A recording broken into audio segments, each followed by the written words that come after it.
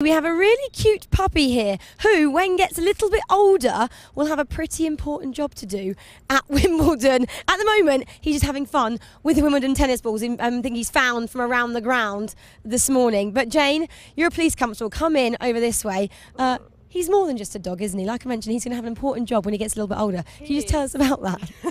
he's going to be a search dog, um, and they will just search the perimeter and inside buildings, uh, the courts, um, to ensure that there's nothing untoward being left around and uh, that the members of the public can enjoy their day.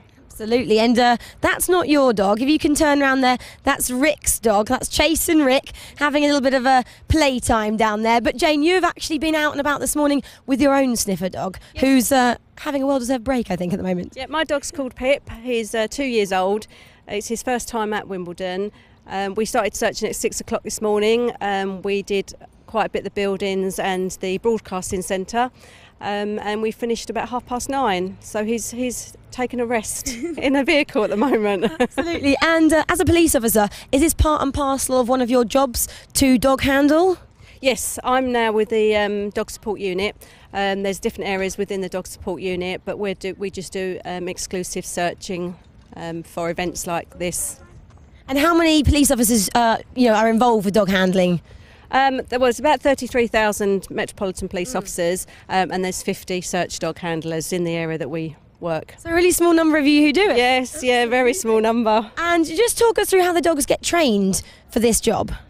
Um, the dogs do a 10 week training, so once they're about a year old, they go um, a very intensive 10 weeks to 12 weeks um, learning the different elements of uh, the search that we require them to do um, and once they pass that and the handler passes because it's a test for the handler as well as the dog um, then they go out onto the streets of London Gosh, I'm going to go turn around here and talk to Rick and Chase because, Rick, how's the training going then? Jane just mentioned that it's uh, your job as well as Chase's job to be trained. How's it going? Well, that's it. I mean, Chase is only six months old, so we um, just environmentally friendly. Just get him out. So every everywhere's happy for him.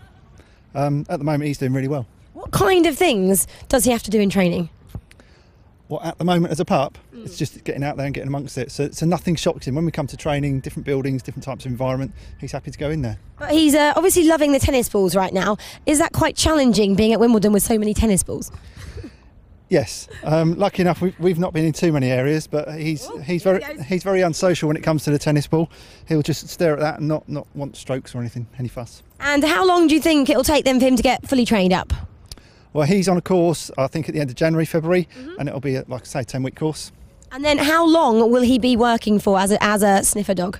Um, they work till about eight, eight, eight and a half years. Oh, wow, gosh! And then after that, does he become your pet, or what? What does he then go into doing? Yeah, I mean, he's lived with me. They, they're kennelled in at my back garden, so for eight years he's been my partner, so you can't really give him up. The wife and family would not be happy if I gave him up. And what kind of dogs make great sniffer dogs? It's from the uh, Gundog breed, so they've bred all their all their life to uh, go out go out and find things and work all day long. And he's the worst pet bet you'll have because he want to chew things, want to be busy all the time. Well. So.